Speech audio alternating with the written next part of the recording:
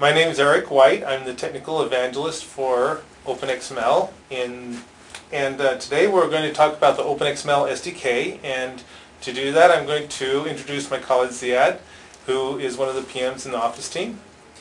Thanks, Eric. Uh, my name is Zeyad Rajabi. I'm a program manager on the Office team. And I've been working very closely on the OpenXML SDK.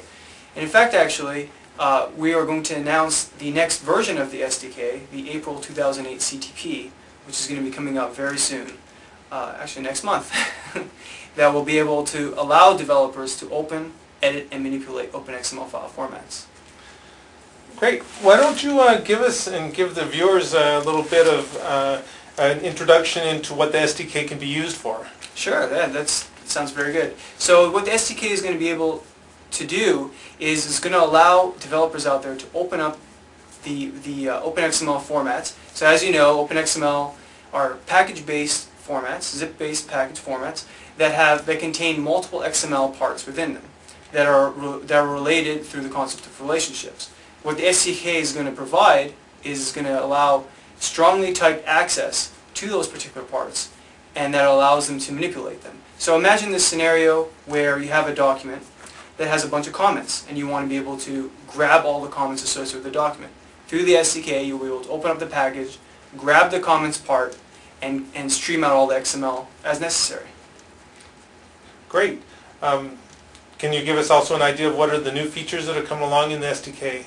Sure, yeah. So we're going to be releasing this new CTP uh, next month, and what that is going to provide is going to provide better compatibility with other XML technologies that we provide in .NET, such as LINQ to XML, so that we're going to have the ability to add annotations to different parts, we're also going to allow the ability to add particular IDs to add newly created parts within the package itself.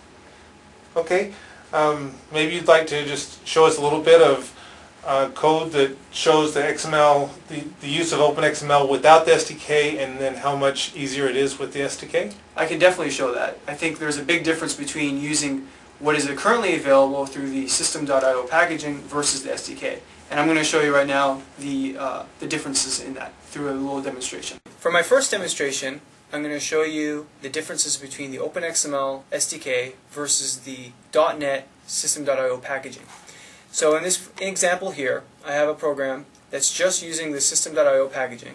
And essentially the scenario here is I have a document, doc, test.docx in this case, and what I want to do is I want to grab the styles part and, and get the XML out of that.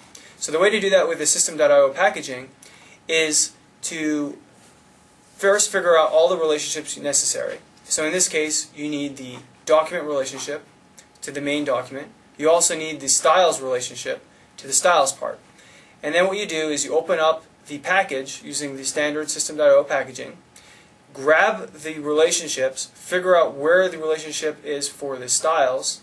So in this particular case, that's what you're doing right here, grabbing this, grabbing the relationship, loading the appropriate XML uh, from the relationship to figure out all the different, uh, to figure out the styles part, and then once you grab the styles part, grab the XML in any appropriate manner as necessary. That's a lot of steps to do just to grab the styles part. With the SDK, a lot of code is, is very much simplified. So the way to do that now, the SDK provides strongly typed access to the different parts. So in this case, you have a strongly typed access to the word processing document part.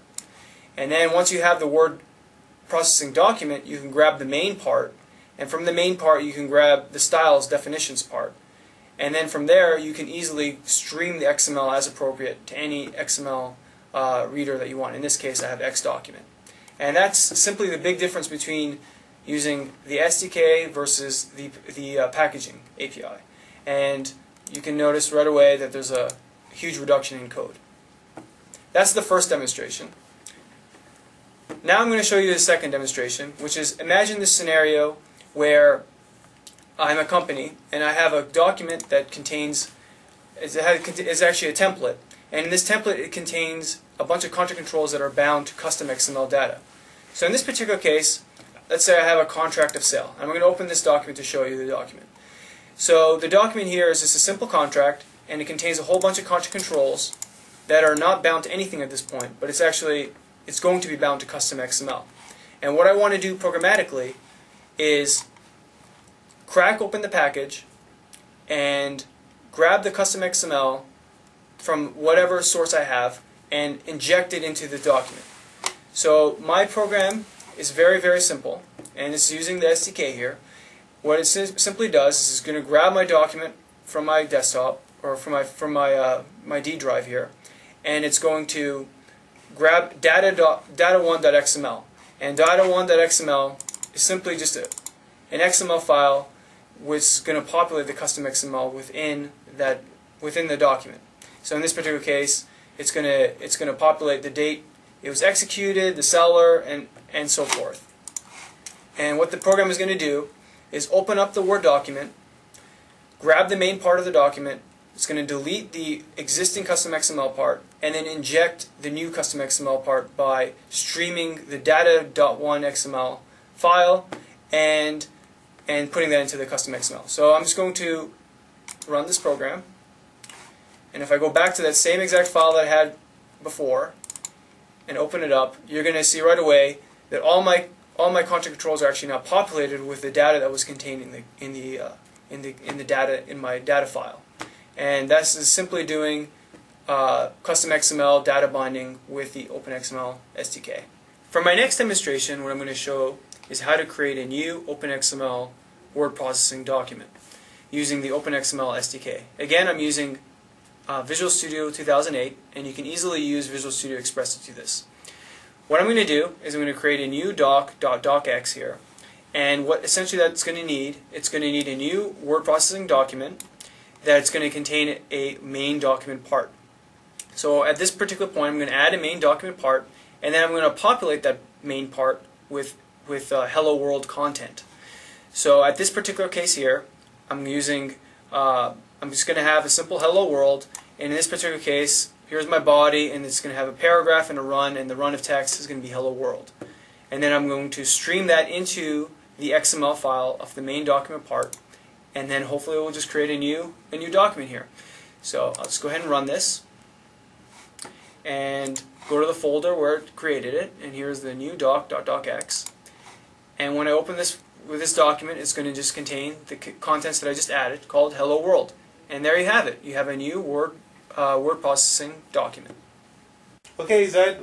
So that all looks very cool. And when can developers get their hands on this? That's a great question, Eric. So what we're going to actually be releasing this publicly uh, next month, April, the end of April.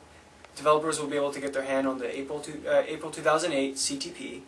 And in actuality, we're going to be releasing the final version of the SDK, version 1, the next month after. So that's going to be in May 2008. We're going to finally release uh, that CTP, or the final version of that. And we are going to be working on version 2, uh, and hopefully get you guys a CTP at, by the end of the summer for that. And that'll get you access to manipulating uh, the XML contained inside word processing documents. Uh, well, at this particular point, developers can get their hands on this stuff on MSDN, and the website URL there is msdn.microsoft.com slash office slash XML, and you'll get the latest information there. Similarly, you can also get information on openxmldeveloper.org, and you'll get the latest news and roadmap for the SDK.